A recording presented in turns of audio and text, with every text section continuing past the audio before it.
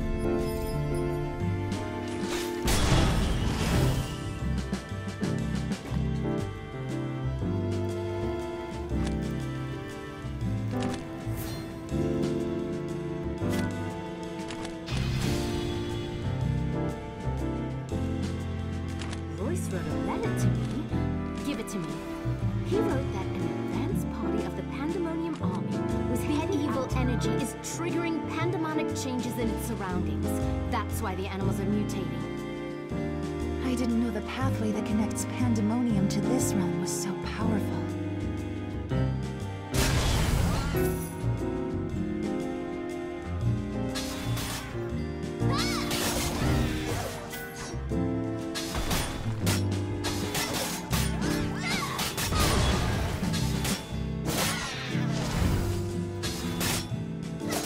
What's this? It looks like a component of something.